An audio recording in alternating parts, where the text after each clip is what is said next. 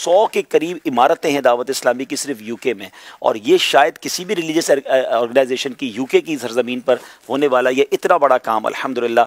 और वहाँ पर जो आपने सेंटर्स लेने हैं या प्रॉपर्टी लेनी है नाजरीन, वो इस तरह नहीं है कि चंद हज़ार या चंद लाख या एक दो करोड़ रुपए में मिल जाए बाज़ अवत तो बहुत ह्यूज रकम खर्च करनी पड़ती है। सिर्फ़ अभी हमने वैम्बले लंदन में एक जगह ली है दावत इस्लामी का जहाँ पर फैज़ान मदीना बनने जा रहा है इन पाँच मिलियन पाउंड उसकी कीमत है तो पाँच मिलियन पाउंड आसान कर दूँ तो पाकिस्तानी एक सौ सत्तर करोड़ रुपये बनते हैं।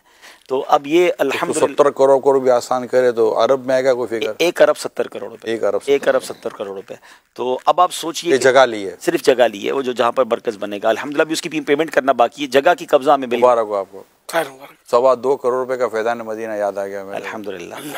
जिसमें आप कहते थे जूते के साथ जूते के साथ ये ये जुमला आपका याद आता है। यार हम लोग जाते ये आपका आपका आप तो गलियों में खेलते हाँ मैं जब दावत इस्लामी में आया था तो आप फैजान मदीना खरीद चुके थे। भाई तामीर हो रहा अभी तो आपने कहा ना कि कुछ मेहनतें या कुछ अखलास या कुछ चीज़ें ऐसी होती है जिसके ज़रिए बहुत कुछ मिल रहा होता है। वो वो कोशिशें थी पुराने इस्लामी भाइयों मैं याद करता हूँ अब्दुल अभी सवा दो करोड़ रुपए का फैजान मदीना हमें याद है जगह। की कीमत जो फरमाते हैं हज़रत मुझे याद है हम कई बार पैदल गए हैं। गुलजार हबीब से भी कई बार पैदल गए वो अमीर की ऐलान करते थे कि जेब में जितने पैसे ना यानी पैसे को जेब खाली जेब खाली कर दो।